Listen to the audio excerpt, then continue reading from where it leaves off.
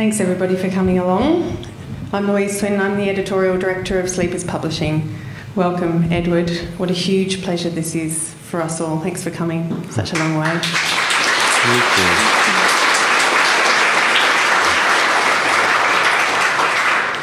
By way of introduction, though I know to you he needs no introduction, Edward St Aubyn was born in London in 1960 and educated at Westminster School and Keble College, Oxford. He's the author of seven novels, of which Mother's Milk was shortlisted for the Booker. His first novel, Nevermind, won the Betty Trask Award. This novel, along with Bad News and Some Hope, became a trilogy now collectively published under the title Some Hope. The Patrick Melrose series concludes, or does it, with At Last, the fifth Patrick Melrose novel. Edward's other fiction consists of On the Edge, which was shortlisted for the Guardian Fiction Prize, and A Clue to the Exit. I am, and I have to declare it, a fan. I think Alice Sebold says it best when she says the Melrose novels are a masterwork for the 21st century by one of our greatest prose stylists. I've played my hand. Edward, much has been made of the autobiographical element of the Melrose books, and I'm interested in why you chose fiction, if indeed fiction was a choice for you, um, over, aside from memoir. Whenever I hear about somebody's written a memoir, I assume that there's uh, lots of lie or made up things in it. And yet, I, when I think of fiction, and I publish and love fiction, I always think it's a way to a kind of truth. But for you, I don't know, was it a choice to write fiction instead of memoir? Uh, it never occurred to me to write a memoir, and um, I suppose there are there are several reasons for that. Uh, although since it never occurred to me, I'm not an expert on the reasons. um, but uh, looking back and making it up as I go along, I suppose that the novel it's partly a question of of, of tradition and and the individual talent. It's a question of what tradition has impressed and moved you most and wanting to be part of that. So I always wanted to write a, a, a novel, um, and that's half the answer. And then I also wanted to distance myself as much from the subject matter as possible and put as much formality between uh, me and the, the emotionally um, difficult material that I was dealing with. It's very artificial to set a book uh, on one day in one place, and um, and yet I've done it four times. It's only Mother's Milk that that's set, but at least at the same month over four years.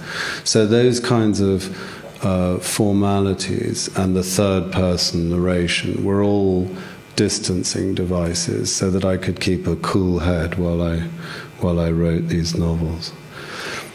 Given, given what you're saying, was it difficult in the end when you did out yourself? And I understand that you, you, you know, you're asked in, in conversations like this about the level of truth, and, and so of course you've had to say the truth. But has that have you had cause to regret that, or has that been? No, okay I'm, I'm, rather keen on telling the truth. I, uh, why would I regret it?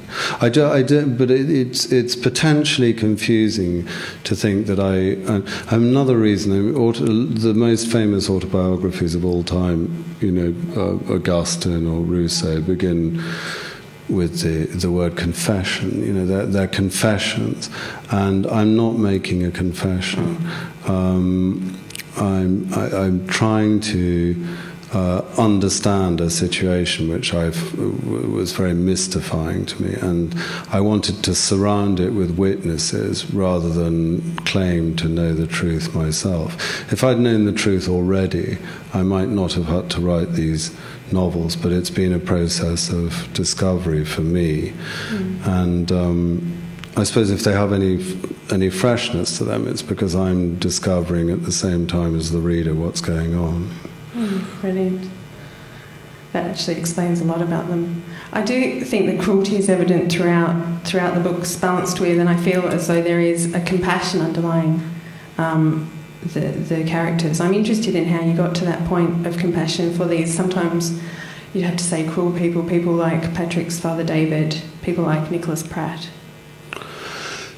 Yes, I think the compassion. Um, becomes more dominant in, in mother's milk and in at last. Um, mm. And uh, which were written quite a lot later than the first three. I think in the first three there are some good characters like Anne, Anne Eisen or Anne Moore as she is in the first novel, and um, but the uh, the the narration is still uh, quite uh, quite dry relative to Mother's Milk and At Last. I think the compassion is something that's that, that's grown and developed. Um, at the same time, you're right that right from the beginning, I thought there was no point in in presenting. David Melrose, however extreme uh, his perversion, his sadism, his contempt, and his snobbery might be as a as a monster. He's a he's a he's a human being um, who's turned out that way, um, and that's why it's really frightening, of course. Mm. In a piece about the Melrose novels in the New Yorker, James Wood says Patrick's only ally is his intelligence. There are few apparent strategic advantages to seeing his life as lucidly as he does. Do you think that that's true? I think that, um, well, I mean, forgetting my own particular case, I think that that um, certainly in, with tragic characters, uh, lucidity is part of the tragedy. You know, um, and in many cases, for instance, I mean, in Hamlet's case, it's supremely his lucidity that's part of his tragedy. In other cases, it's it's it's not the case. Um, but for myself, I, I, don't really want to badmouth lucidity. um, I can't. I mean, what's the alternative? Being completely muddled the whole time. I, I mean, that is how I've felt most of my life, and these these books are an attempt to be lucid about things that were completely overwhelming and chaotic, and um, which seemed to defy lucidity. Um, but those are the only things worth writing about, things that seem impossible to write about. Otherwise, it's a, a you know, it's such an odd occupation. Being, being alone in a room for year, years on end, on the verge of a nervous breakdown, trying to write these sentences, which maybe no one will read. Um, so, yeah, it has to be. It has to seem very nearly impossible to be worthwhile. I think. To the person who's doing it, seem. To, to me, yes. Um, yeah, absolutely. If not a novelist, was there anything that you, anything else, any other art form that you might have turned to as a way of expressing? Did you ever fall back? No, I'm, there's nothing I'm remotely good at, um, and so except maybe writing, and that's that's it. If it hadn't worked, um, comedian didn't. well, my horror of public appearances might have sort of brought that um, career to a halt. But I did a lot of private comic performances. I mean, there's a chapter in Bad News where Patrick is is taken over by lots of voices and he becomes this sort of ventriloquist mm. dummy mm. for for all these voices. He has such a weak sense of self that he's invaded by one voice after another and they respond to each other and this kind of grotesque play evolves.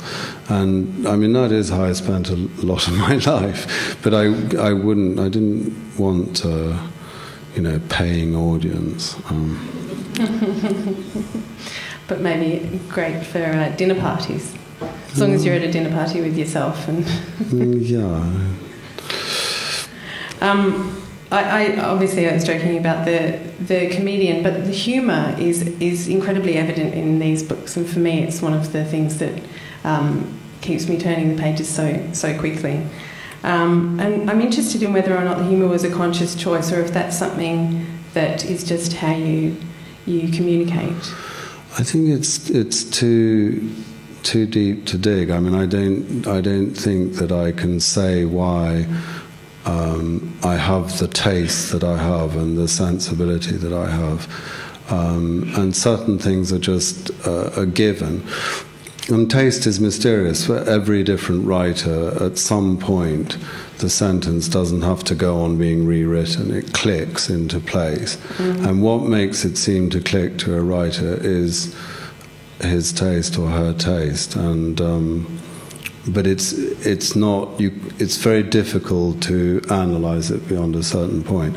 And I'm, you know, I see the world as um, torn between um, you know heartbreak and absurdity, mm. and I also see it very naturally in in images and pictures. So metaphors and similes um, just uh, spring up, as it were, and and this alternation between um, comedy and um, anguish is just there already. Mm. Um, but the sentences aren't there already, and you know that's so they have to be written. But they're written from that base, which I can't analyze for you.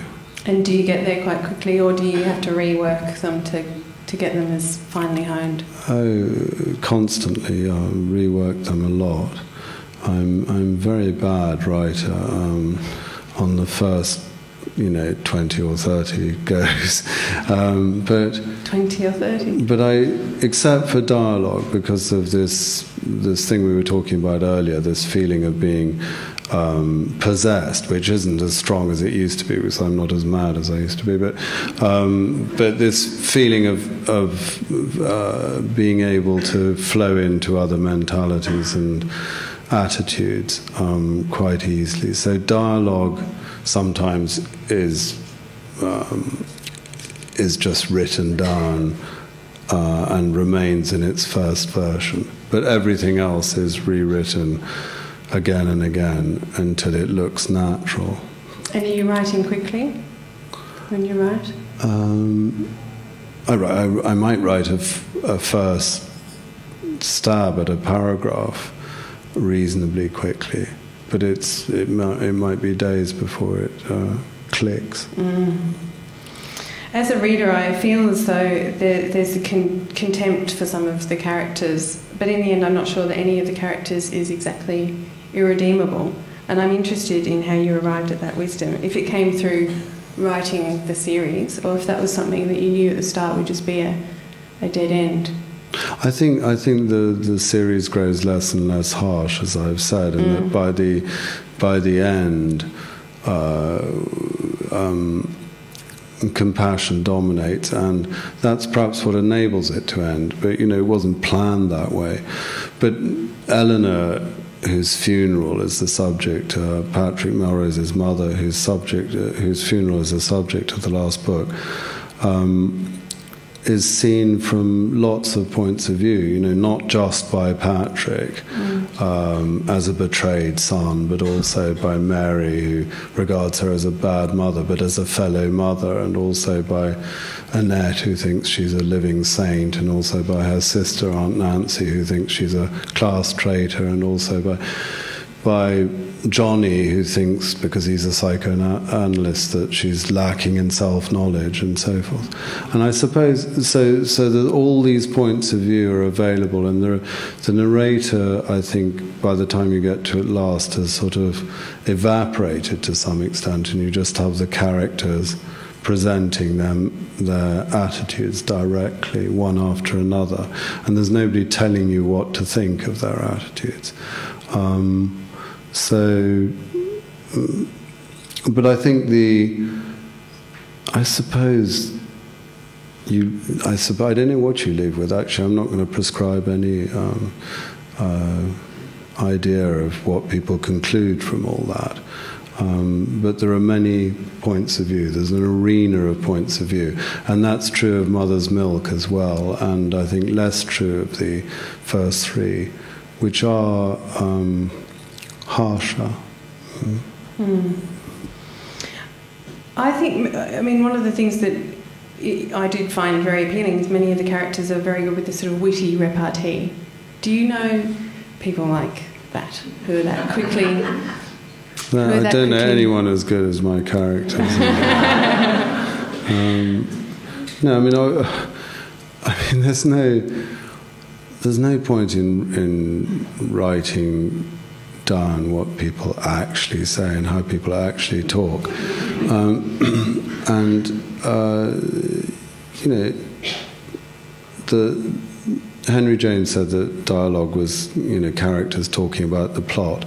They need to be completely on subject and they need to be as articulate as possible about it.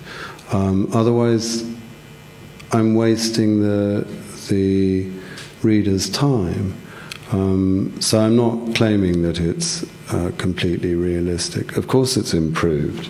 I mean, why would you buy a novel if it wasn't an improvement on sort of eavesdropping in Starbucks or something?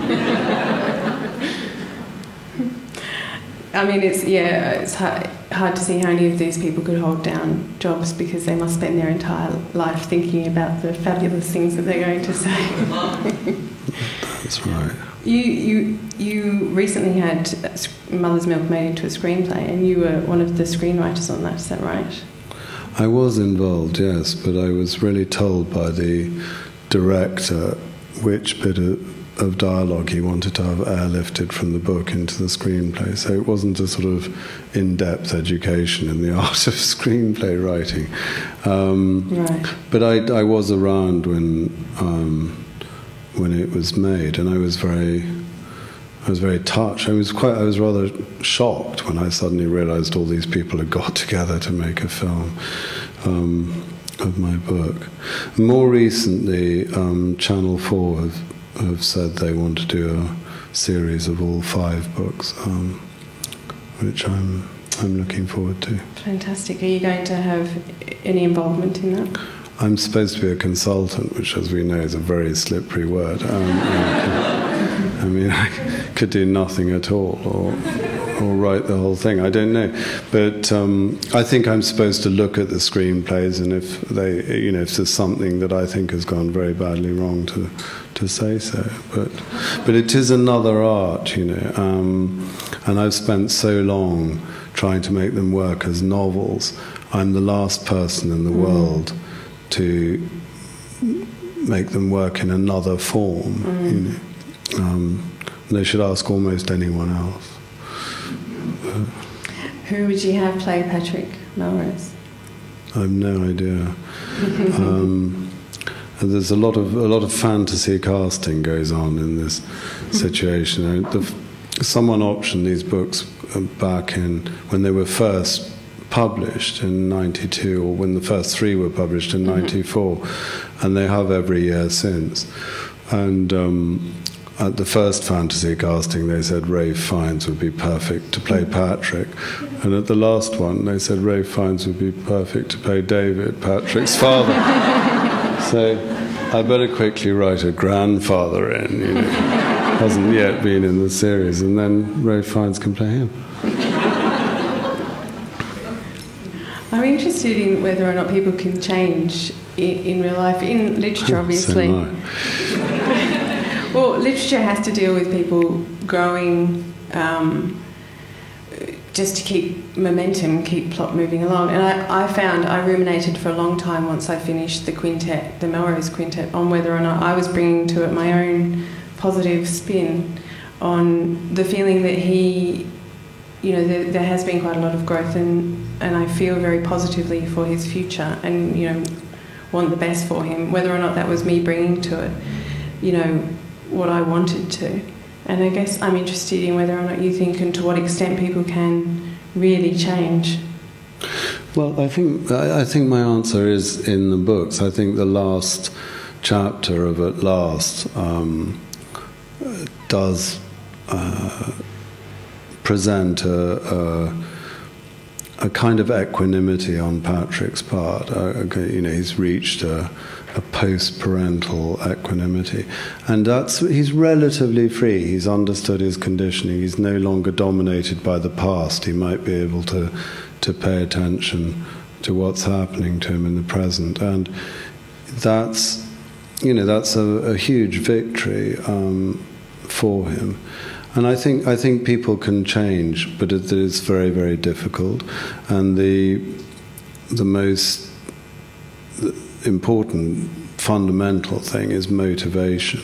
And of course, no one could be more motivated than Patrick Melrose, you know, because he, he, he, he finds his thoughts, memories, and feelings completely unbearable the way they are. And so he's very, he's very motivated. I think if you don't have to change, why bother? You know, lots of people are really nice already. I'm sure none of you need to change, but he did. He really needed to change. Can can writing be therapy or therapeutic? Do you think, or is it is it for you? Um, no, it, was, it, just made it much worse, really. Um, and because of this lucidity you're talking about, continually digging things up, wanting to look into them more closely, it was it was um, entirely painful. Now that it's finished, I think there is um, something has happened. Whether it's what Freud called sublimation or not, I'm not sure. But um, but something, you know, horrific and and chaotic and unbearable has been turned into something which I hope is enjoyable, and that transformation uh, has has transformed um, my mind, you know. But it, but I didn't set out with a therapeutic intention, or uh, which brings us back to what we were talking about earlier. It's not a confession. I set out to write a novel. My first responsibility is to interest the reader. Mm-hmm. I, I remember when I was at either at school or, or at university reading English, there was some book, I think it was called with a very grand title like The Rhetoric of Fiction or something, and I opened up. And then it had this modest but important first sentence, which was the function of style is interest, you know. And, you know, it's a very simple statement, but that's the point. Mm. Um, you know, if it's a communication, if it's a secret diary, you can say anything you like. But if it's a communication, it has to, the, the intention must be to interest mm. the, the reader. You know, the, the communication is only finished when the book is read. You know, it's a private, in a way, it's an individual communication between the writer and the reader. Even if there are a million readers, it's still an individual moment, mm. which meant a lot to me when I was young. You know, I felt very isolated, and reading gave me that relief from isolation, of feeling connected with someone else's um, mind. Have you always been a big reader? Oh, yes, a very slow, painfully slow reader, but I've always sort of sounded the sentences in, uh, in my head while I was reading. I read very slowly, I mean, that slowly. Um, and that may have affected my, my style, you know, it may be that I, I imagine the sentences being read out. Um, I'm not sure about that. If so, then that's to our benefit. what, is, what are some of the books that you go to again and again? Um, well, I haven't. I've, you know, there are lots of things I haven't even read once. I can't afford to start rereading in, too but much. in your yes. head, at least. Obviously. In my head. I think. I think in I. Um, I think there's a kind of window for influence, um, mm. and that that sort of for me was between late adolescence and my and my mid 20s and before I started writing myself. And somehow, once I've started writing, I, I, um, I'm taking in very little uh, new. Um, basic information, you know, that's having an effect on my sense of of what works and doesn't work. But during that period when I was very strongly affected by other people's work, I mean, it was very obvious people, you know, Henry James, James Joyce, Nabokov, Proust, etc. Um, there, Beckett was a, a big mm. influence. Um, quite a lot of them are mentioned in Bad News. There are individual lines which are quotations from those people, and also from Nightwood by Djuna Barnes and um, The Myth of Sisyphus by Camus. Those books were of burning importance to me then, mm. um, other people's books. And then somehow I switched from being a, um, a fanatical reader to being a fanatical writer, and I don't see why the two shouldn't coexist, but they, they haven't in my case. You know, mm. as in you're not just not able to find the, the, the time, the mental space to read. I'm just not. I'm I'm just not uh, as permeable as I was. You mm. know then. Um, I'm. I and I read I read things with a completely sort of technical gaze now. It's it's quite sad in a way. Whereas I, I can go to a film and I'm just this gormless consumer, but with a book, I'm just thinking, oh, he's done it that way. Could have done it that way. You know, um, you know, maybe that's better as two, as two sentences instead of what well, I'm just thinking of it the whole time in that way. So I don't I don't just. Um, there's something less relaxed about my abs- mm. absorption of work now, of writing. Yeah, I've got you as a gormless consumer of films. Music, anything, anything else. It's yeah, just this right. one area in which I'm very um, vigilant. Has it taken away the enjoyment of reading at all? It's a different kind of enjoyment. Mm. You know? If I think things couldn't be done better, I'm in sort of heaven. You know. Do you ever throw books across the room in disgust? Um, yes, but in a particular way. I try and sort of frisbee them so that, so that they go into the wastepaper basket with a satisfying clang or, you know, clonk or whatever noise the wastepaper brings on. So I, um, and I've had one or two really satisfying experiences in that way. It's a bit humiliating when I miss completely, or the book opens and flaps around in mid-air. But when you go and it goes right in, it's sort of life's great achievement. yeah. Uh, Do you ever stop before you finish a book reading? Yeah. I, what I try and do now is um, decide very early on. Um, whether I'm going to go on with a book. And mm. then, so quite a lot of books get abandoned in the first, say, 20 pages. But then if I go beyond that, then I feel a dogged commitment. Mm. I feel I have to go all the way to the end. But people around me sometimes hear me complain on this journey.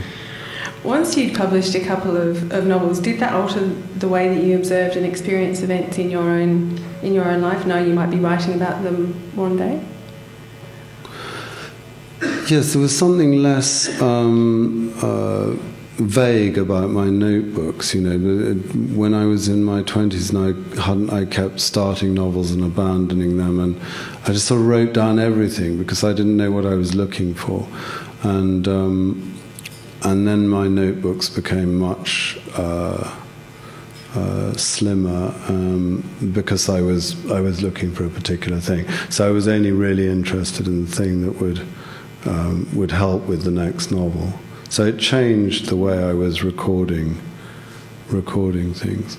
And also, I used to write down very literally descriptions of things or overheard bits of conversation and so forth. Whereas gradually, I've I've come to to trust myself a bit, or to not myself, but my imagination that, that things will turn up, you know, um, when I need them. Which isn't strictly true. I mean, it did take me five years to write at last, and I did need things to turn up quite often, to, and nothing happened. Have you always kept notebooks? It's interesting that you talk about them. That, has that been something since childhood?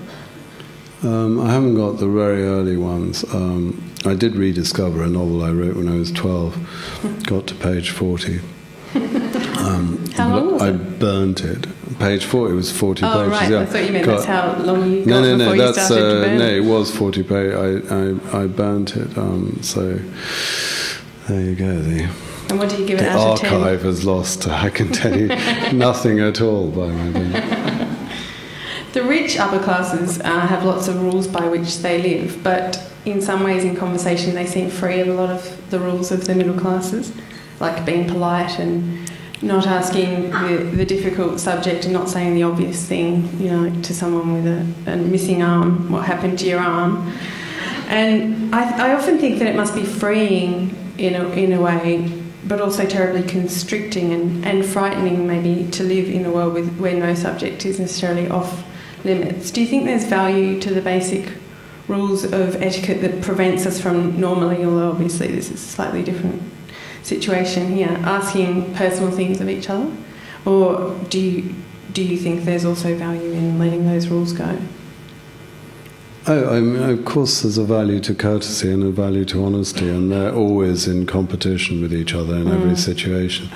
Um, and but I think in in in the Melrose books um, that. Uh, you know, David's disdain for middle class morality is a, is a, is it's a pose. I mean, mm. he's a man who's who's deeply perverted and um, psychopathic, it turns out, by the last book.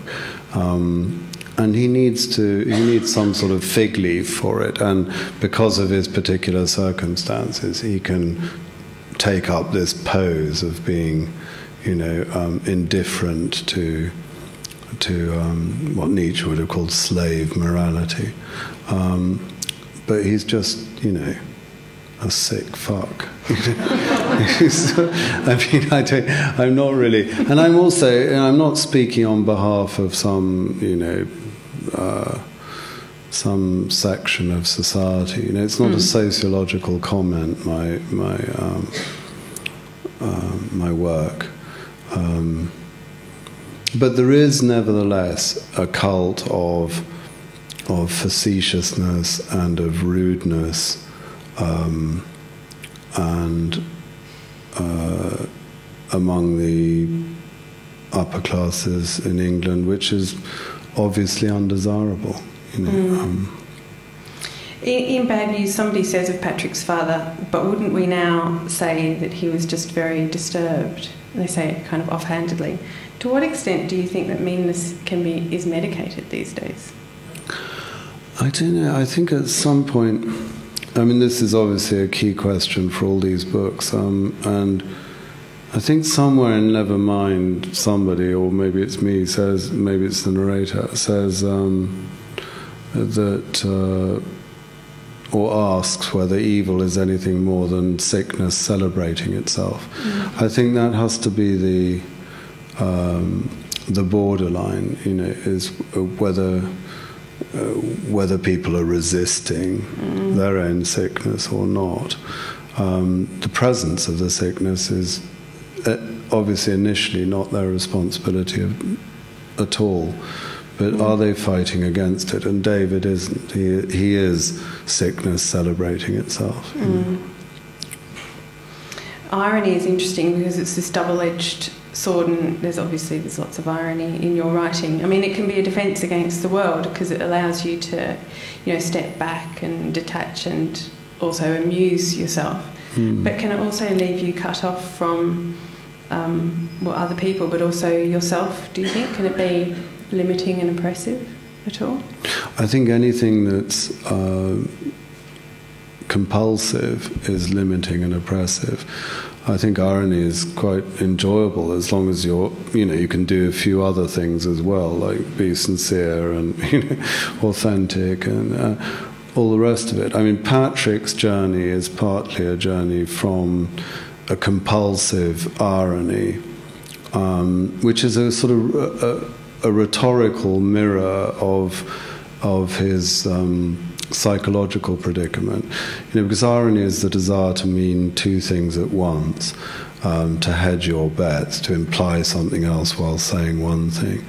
And from from the moment he's raped by his father, you know, he he becomes disembodied. So he's both on the bed and escaping into the body of the gecko that that uh, scuttles across the roof, and so he's been in two places at once uh, from this uh, moment of, of psychological annihilation. And that's reflected in the way that he's compulsively drawn to irony. And um, in At Last, uh, he says how difficult irony is to give up. Mm. But we feel that, that by the end, you know, he can mean one thing at once. And that's uh, where he gets to in the last chapter. Mm. He becomes a whole person rather than someone who's um, broken. it's interesting that you said that about sincerity because I wonder if you felt that sincerity in writing or in life is considered a weakness or in bad taste.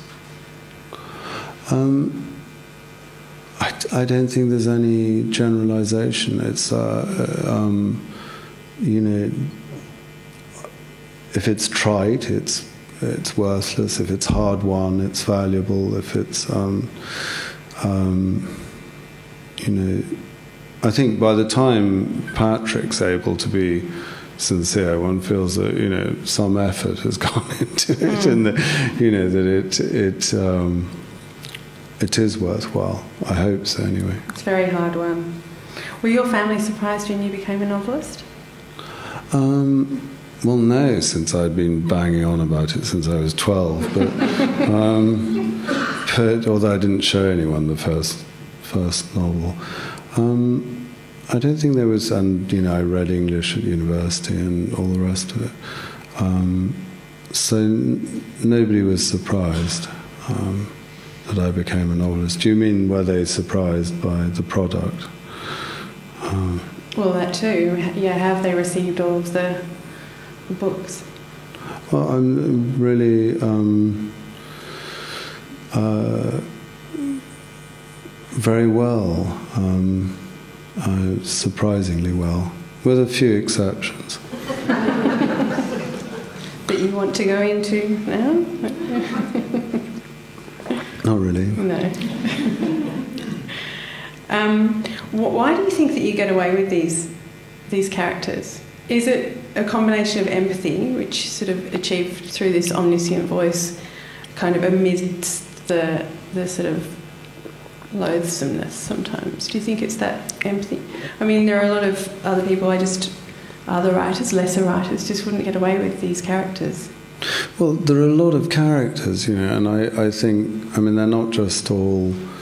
Um, you know, monsters of entitlement and cruelty. There's there's a huge range of characters. There's you know, Annette who appears to be a new age nitwit, but turns out to to be um, you know spontaneously good. Um, and there's uh, there's Mary who's a figure of great. Uh, uh, loyalty and kindness. There's Anne Moore, right in the first novel, who, as her um, name suggests, you know, is outside the the system um, which she's observing. You know, she's the uh, the classic outsider who's not taken in um, by the lousy values of the of the Melroses and their entourage, and so. Um, first of all, I would say that that it's that it's mm. counterpointed. Mm. Um, as as to the people who are rather monstrous, you know, David and um, Nicholas, for instance, I think David is sort of truly disturbing, but but but realistic enough um, to um, to draw the reader on. And and Nicholas is just fun, isn't he? I mean. He's he says these awful things, but they're quite amusing. Um, I, I hope they are very amusing yeah. in their awfulness. Well, I'm interested in why why you write, not why you started writing, but you are on record as saying why I go on and on. um. no, I mean you're on record saying that it's it's hard. It, you, you know, I think you've you've said that you wear towels because you sweat so much in the process of actually writing, which is is quite an image. I mean, that's that's that's full on.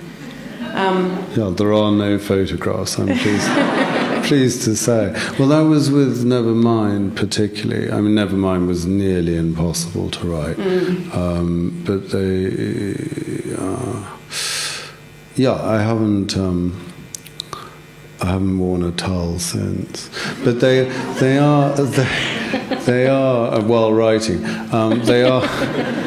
Um, I don't just air dry myself every time but. Um, but they no they, they are very very harrowing and one of the things I just finished a novel um, a week ago or something and I, before I came just before I came to Australia and um, I one of the things I was very interested in in that novel was whether I could enjoy myself writing. For me, that's, that's mm. the ultimate oxymoron. You know, mm. bittersweet or is nothing compared to enjoyable writing. Mm. So, um, so could I enjoy myself? And and the answer is not entirely, but you know, it was a huge step forward because the the contract with Nevermind was you know, I was I'd had a very bleak life.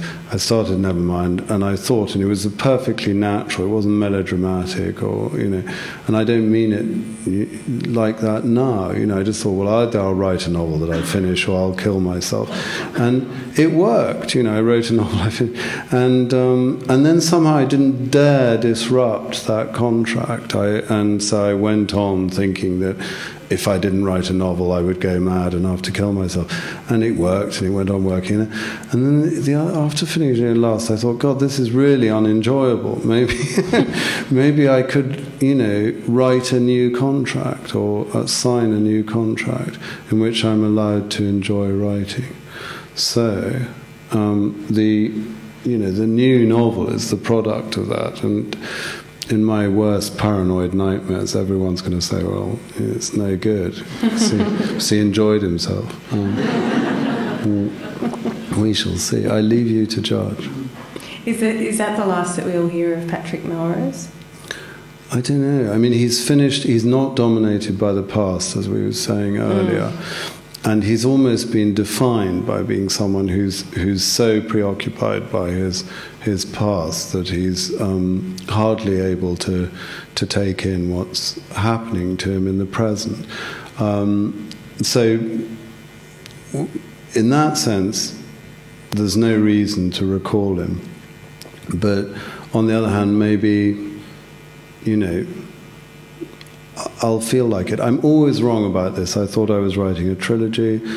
Then I wrote Mother's Milk, and I realized it was a Melrose novel, and I was drawn back in. I thought I was going to write a second trilogy. I was wrong about that. I only needed five books to complete the story. So if I say I'm finished with him, I'm probably wrong, but I'm not going to say I haven't finished with him. I mean, I'm just, I have no idea, you know. But not, no, not soon, not soon, mm. because I mean, what he, where, where, he gets to in the last chapter At Last is, is um, as much as I know, or possibly more than I know. Um, hmm.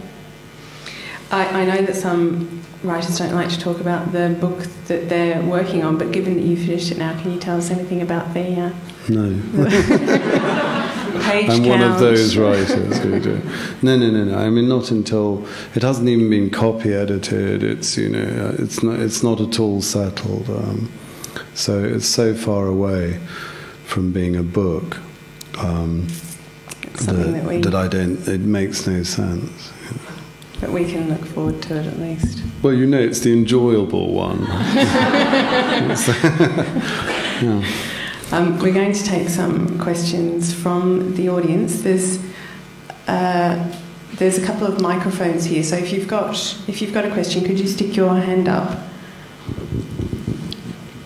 Um, you said you didn't write the books for therapy, but they stopped you killing yourself. Did you have any th- professional help to sort your head out before you started writing the Patrick books? Um, I, do, I don't know that that's really a a sort of literary question. I know, it's, per, it's a personal question and you don't have to answer it. I know.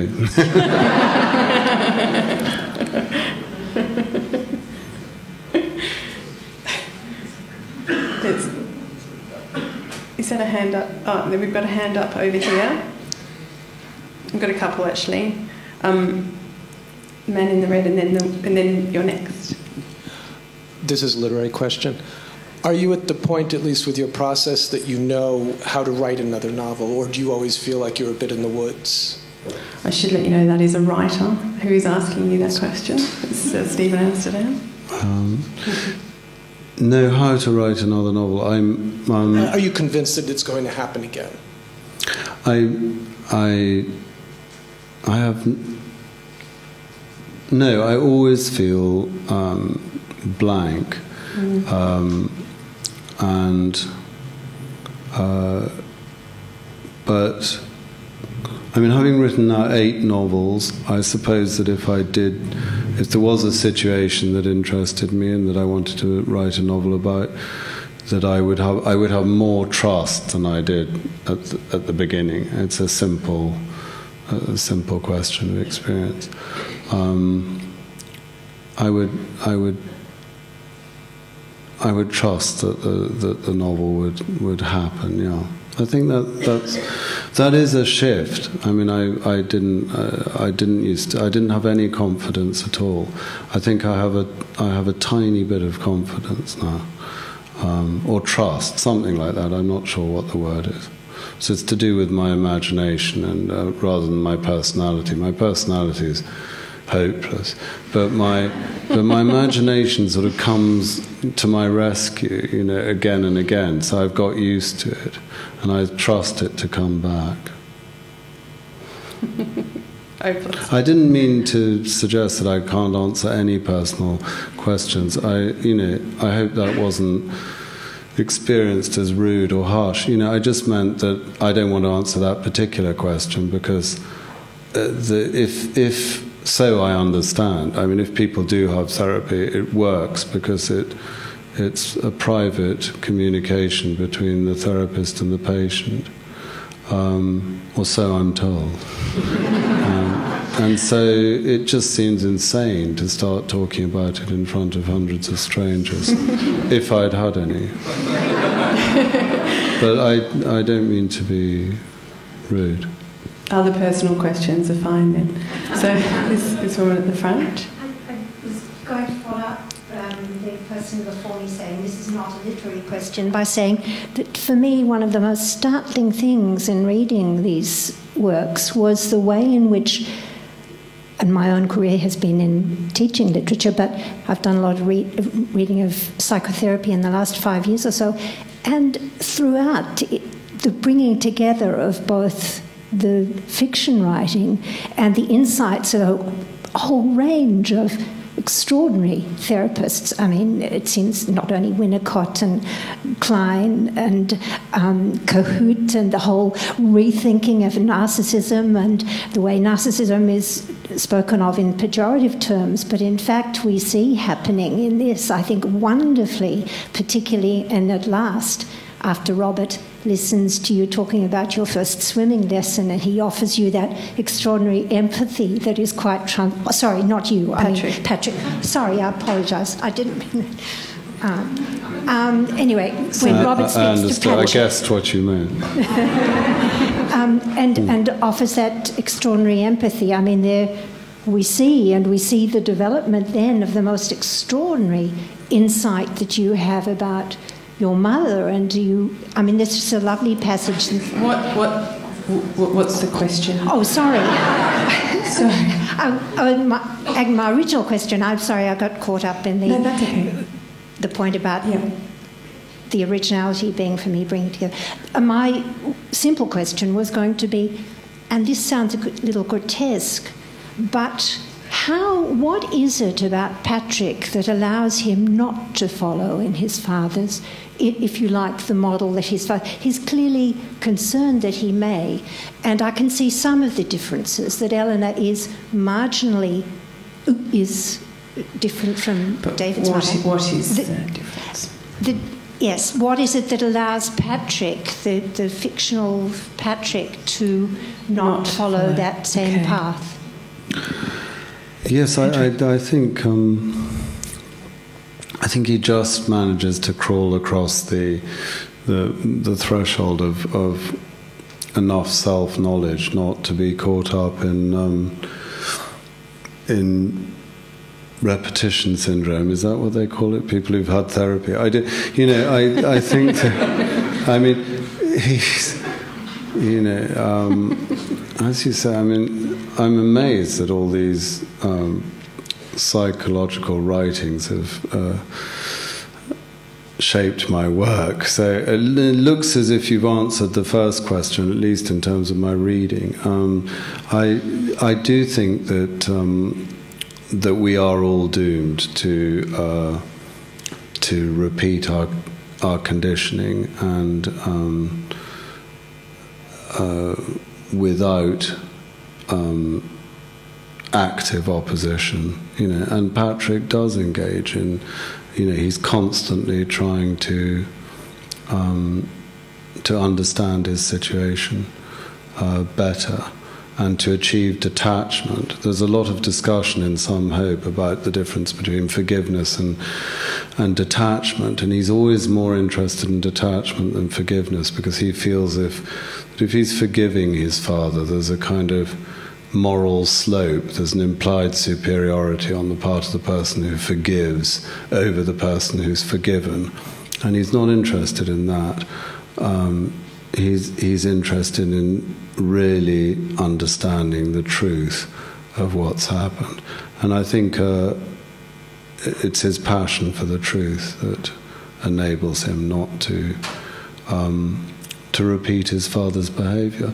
Because once he understands what's happened to him, how could he possibly inflict it on anyone else? Mm. It's only someone who's psychologically doomed to pretend mm. uh, to buy into the aggressor's point of view and think that it was being done for their own good or that it was pleasurable or some, some kind of perverted point of view that would enable it to be perpetuated. Mm. So. We have another question. You said that your writing isn't intended as social commentary, but I'm interested in um, how important their milieu is to the characters in the novels and whether they could have existed in a different place, a different class, and if you think they could exist in the same way today or whether that world has changed. Um, I, do, I don't think the. I think the milieu is the. Um, it's the setting rather than the subject, and um, I think you know cruelty springs up all over the place. You know, I just wrote about a setting that I was at ease with. Um, and knew something about. Um, I think the particular, uh, I mean, Nicholas Pratt, without wishing to give the plot away, dies at the end of at last, and you know he's described as the as the last frayed cable connecting Patrick with the atmosphere of his childhood. So I think there's something about the particular kind of uh, snobbery that David Melrose and Nicholas Pratt uh, embody, which is now the kind of hardcore genealogical snobbery, all of that um, is is now very hard to find. You know, um, and I think it's an extinct species. But it's an extinct species of a universal human drive, an obsessive concern with status, with comparison, with you know feelings of superiority or inferiority to others, you know, etc. I mean, it happens everywhere, um, and uh, I, you know, I don't think it's as as it, in a novel things have to be particular um, and but at the same time, they have to point to something that isn't so particular, and I think that's true of snobbery. Mm. We have another question at the back.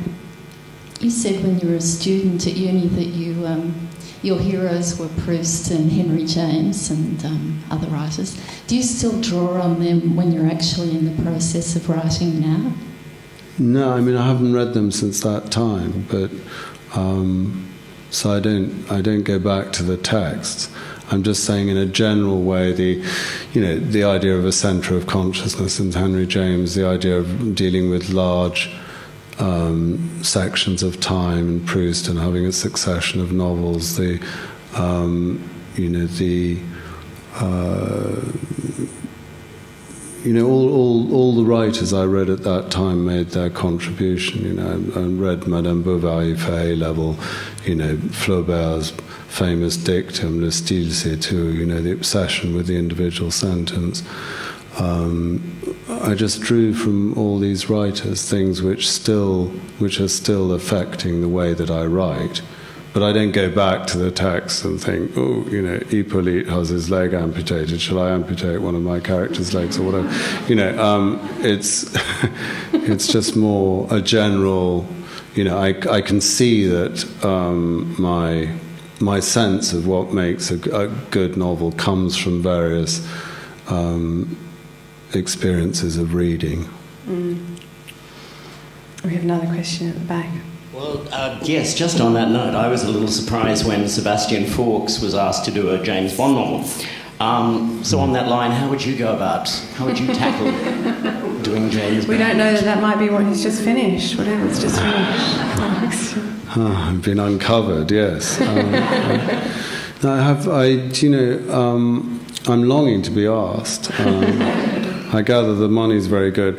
I think, I mean, Sebastian um, decided to do it in six weeks, you know, and that the trouble for me would be that that's completely out of the question, and I, you know, it would be a couple of years of my life, and um, writing a pastiche of someone else's work, and that's not the direction I've been going in so far. But I'm open. I'm open to bribery.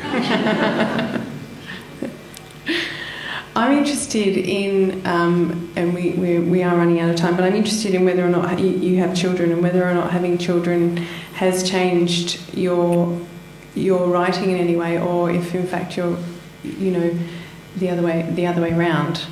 Um, have, being a writer has changed your interaction with children at your own. Sure. I um, Yes, yes, it it has. I think having uh, children for everyone is a, is, is a sort of uh, reanimation of their own infancy and their own childhood um, when they see this helpless, speechless, uh, completely dependent creature and and and then either their own anxiety or paranoia or or whatever it is is brought to the surface. So having a child is is a sort of depth charge really in your unconscious. Um, if that's the right term, um, and and brings up all these all this material. Um, so I think, of course, of course, it, I mean, it's but it's one of the most powerful things, perhaps the most powerful thing that, I don't know. Anyway, it's very powerful. I'm not going to put it in a hierarchy of powerful things. um, there's no competition. The, the, the children appear in the later books, but it does remind me of when, when Patrick himself is a child. How, you know, I mean, you get right in there with these kids. How do you access not just how it feels to be a child because we can all regress, I guess, given half the opportunity. But how to how to think like a child? How do you access that so quickly and easily?